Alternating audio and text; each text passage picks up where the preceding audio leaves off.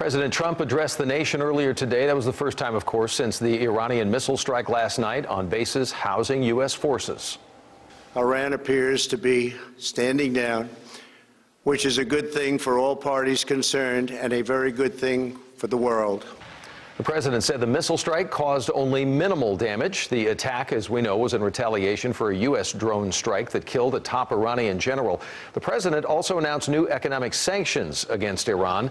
Political reporter Jack Fink is live for us in Dallas tonight with what local members of Congress are saying about the conflict. Jack?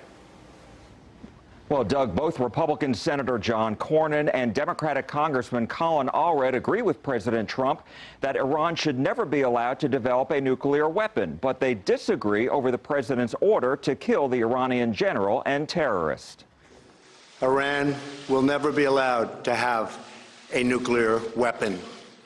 After President Trump addressed the nation, Texas Senator John Cornyn applauded his policy and decision to kill Iran's top military commander.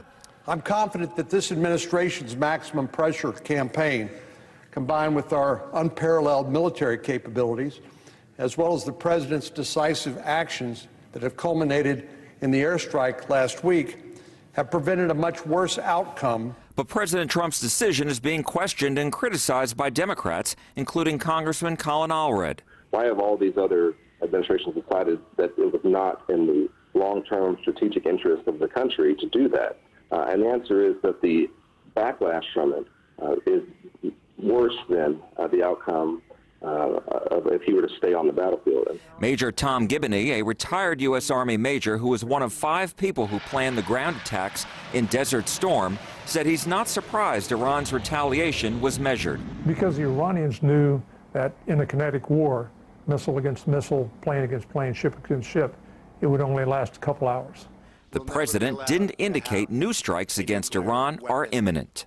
Where the president was clear uh, that his evolving doctrine is to not retaliate unless there are human casualties.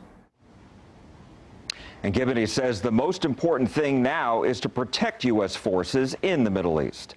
Live in Dallas, Jack Fink, CBS 11 News.